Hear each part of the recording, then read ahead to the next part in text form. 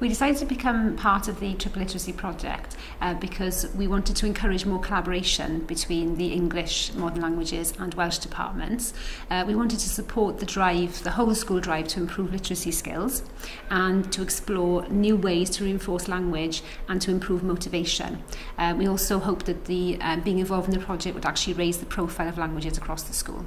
The first activity that we were involved in was um, a whole school quiz activity where our head of English devised um, a weekly quiz which was distributed to form groups during registration in the morning. Um, and within that quiz, he actually um, used a lot of reading skills to improve the children's reading skills in English.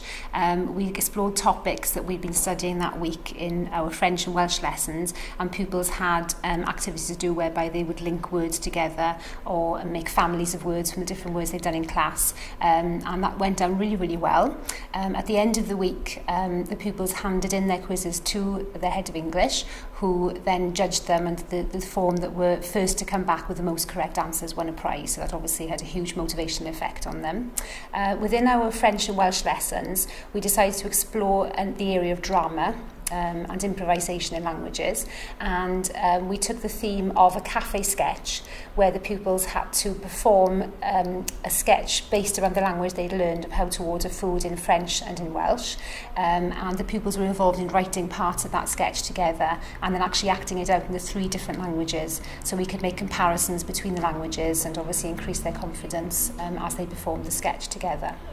Yeah, During the school year, we have lots of events that actually encourage pupils to um, increase their motivation for languages and to become involved in cultural events. Um, we celebrate the European Day of Languages where we have a special assembly which is run by our deputy head teacher um, to actually tell the children about the importance of, of employability if they have different languages and they actually can, can offer those later on in life. Um, we celebrate Bastille Day on July the 14th where the whole of Year 7 are involved in French cultural activities, food tasting, quizzes, games, etc. Um, and we also have our St David's Day celebration sessions where um, we, the Welsh department involve the language department too where they have to have a homework competition um, or they perform a sketch for the other pupils during the Eisteddfod so it actually brings in the cultural aspect of, of other languages as well. Mae bod yn rhan o'r prosiect Llythrenydd Triffig wedi ein galluogi ni fel Adran Gymraeg i gydweithio a rhannu arfer da gydag adrannau ieithoedd eraill yn yr ysgol.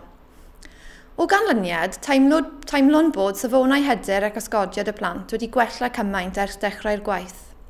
Mae'r plant yn sicr wedi mwynhau'r profiad o gydweithio i greu dramau byr trwy gyfrwng y Gymraeg, Ffraneg a Saesneg, ac mae wedi rhoi cyfle i'r plant fod yn greadigol gydag ieithoedd i drafod pethau sy'n debyg a gwahanol rhwng yr ieithoedd i archwilio strwythau ac elfennau o'r gramadeg.